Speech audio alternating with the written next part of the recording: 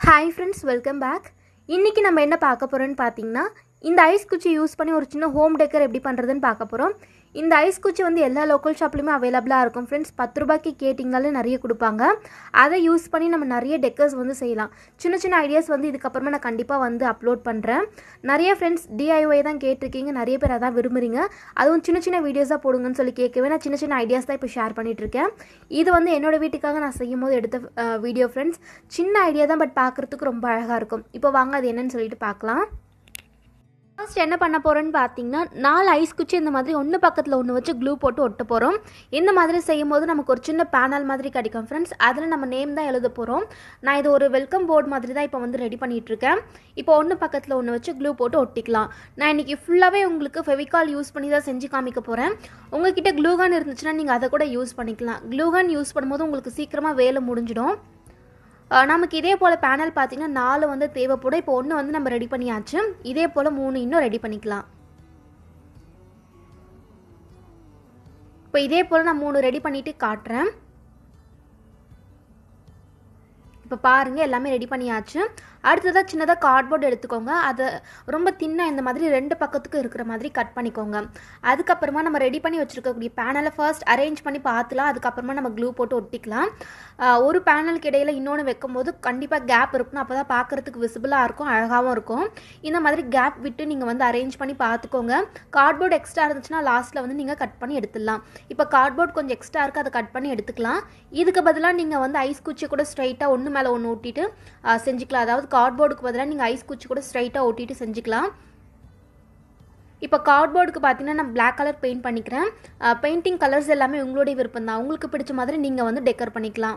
இந்த பேனலுக்கு வந்து ஒவ்வொன்றுத்துக்கும் ஒவ்வொரு கலர் வந்து கொடுத்துக்க போகிறேன் ஒன்றுத்துக்கு பார்த்தீங்கன்னா பிங்க் கலர் இப்போ பெயிண்ட் பண்ணிகிட்ருக்கேன் இன்னொன்றுத்துக்கு ப்ளூ க்ரீன் ஆரஞ்சு இந்த மாதிரி நாலு கலர் நான் சூஸ் பண்ணியிருக்கேன். பெயிண்ட் பண்ணி முடிச்சதுக்கப்புறமா கண்டிப்பாக கொஞ்சம் நேரம் ட்ரை பண்ண வச்சுக்கோங்க. இப்போ எல்லாமே ட்ரை ஆகிடுச்சு அந்த கார்ட்போர்டுக்கு மேலே நம்ம க்ளூ போட்டு ஒட்டிக்கலாம். முன்னாடி எப்படி அரேஞ்ச் பண்ணுமோ அதே போல் கேப் விட்டு இந்த மாதிரி க்ளூ போட்டு ஒட்டிக்கோங்க. இப்போ எல்லாமே ஒட்டியாச்சு. லாஸ்ட்டாக இதை ஃபினிஷ் பண்ணுறதுக்கு அந்த ஷேப் கொண்டு வரதுக்காக நான் என்ன பண்ண போகிறேன்னு பார்த்தீங்கன்னா ரெண்டு ஐஸ் குச்சி இந்த மாதிரி மேலே வச்சு அட்டாச் பண்ணுறேன் பார்க்குறதுக்கு ஒரு வீடு மாதிரி தெரியும் அதுக்காக தான். எங்கே ஜாயிண்ட் ஆகுதோ அங்கே மட்டும் க்ளூ போட்டு ஒட்டினீங்கன்னா போதும். இப்போ இதுக்குள்ளே வந்து நம்ம ஏதாவது வேர்ட்ஸ் வந்து எழுதிக்கலாம். உங்களுக்கு என்ன பிடிச்சிருக்கோ உங்களுக்கு என்ன எழுதணுமோ அதை வந்து எழுதிக்கோங்க. நான் வந்து எனக்கு தோன்றதை வந்து எழுத போகிறேன் நான் இது ஒரு வெல்கம் போர்டு மாதிரி தான் இப்போ ரெடி பண்ணிகிட்ருக்கேன் so welcome to our home அப்படின்னு தான் நான் எழுத போகிறேன் நீங்கள் welcome to my home home sweet home இல்லை உங்களுடைய நேம் கூட போட்டு வெல்கம் பண்ணிக்கலாம். ஒயிட் கலரில் ஒயிட் கலர் பெயிண்டில் எழுதுங்க ஃப்ரெண்ட்ஸ் அப்போ தான் பார்க்குறதுக்கு நல்லா விசிபிளாக அழகாக தெரியும். பிளாக்ல எழுதிங்கன்னா ரொம்ப வந்து ரொம்ப தெரியாது விசிபிளாக இருக்காது. ஒயிட் தான் பார்த்தீங்கன்னா நல்லா லுக்காக தெரியும்.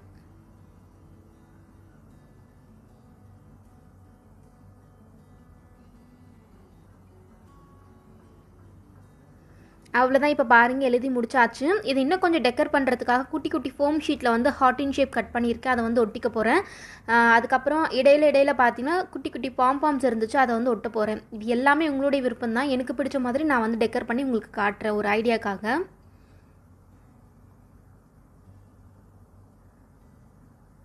இப்போ பாருங்கள் பாம்பாம்ஸ் எல்லாமே நம்ம ஒட்டி முடிச்சாச்சு. லாஸ்ட்டாக இந்த ஆரஞ்சு கலர் பேனலில் கொஞ்சம் கேப் இருக்கு இல்லையா? அதை ஃபில் பண்ணுறதுக்காக நான் இன்றைக்கி வேஸ்ட்டாக இருக்கக்கூடிய இந்த கண்ணாடி பாட்டில் தான் ஒட்ட போகிறேன் இது வந்து பெயிண்ட் பாட்டில் தான் ஃப்ரெண்ட்ஸ் உள்ள பெயிண்ட் வந்து ரொம்ப ட்ரை ஆகிட்டு இருந்துச்சு. ஸோ நம்ம பெயிண்ட் கூட பண்ண தேவையில்லை. இது ஒட்டும் போது பார்க்க அழகாக இருக்குன்னு தோணுச்சு. அதுக்காக ஒட்டிட்டேன். இதில் குட்டி குட்டி ஃப்ளார்ஸ் போட்டு வைக்கும்போது பார்க்க அழகாக இருக்கும். நீங்கள் அந்த கண்ணாடி பாட்டிலுக்கு பதிலாக டபுள் டேப்பில் இருக்கக்கூடிய அந்த ஹூக் கூட அட்டாச் பண்ணிக்கலாம் சாவி மாட்டி வைக்கிறதுக்கு. லாஸ்ட்டாக வந்து இதை மாட்டி வைக்கிறதுக்கு ஒரு ரோப் வந்து பின்னாடி அட்டாச் பண்ணிட்டீங்கன்னா நம்மளுடைய வெல்கம் போர்டு வந்து ரெடி ரெடி ஆகிடும் இப்போ பாருங்கள் நான் வீட்டுக்கு வெளியே இந்த மாதிரி மாட்டி வச்சுருக்கேன். பார்க்குறதுக்கே ரொம்ப அழகாக இருக்குது பூ வந்து தினமுமே இது வந்து இது இது போல் வந்து ஃப்ரெஷ்ஷாகவே நம்ம எடுத்து வைக்கும்போது பார்க்க ரொம்ப அழகாக இருக்கும்னு தோணுச்சு. அதுக்காக தான் அந்த பாட்டில் வச்சு நான் டெக்கர் பண்ணேன். அவ்வளோதான் ஃப்ரெண்ட்ஸ் இந்த சின்ன ஐடியா உங்களுக்கு பிடிச்சிருக்கும் அப்படின்னு நினைக்கிறேன். கண்டிப்பாக வீட்டில் ட்ரை பண்ணி பாருங்கள் இந்த வீடியோ உங்களுக்கு பிடிச்சிருந்தா மறக்காமல் சேனலுக்கு சப்ஸ்கிரைப் பண்ணிக்கோங்க. இன்னொரு வீடியோவில் பார்க்கலாம் தேங்க்யூ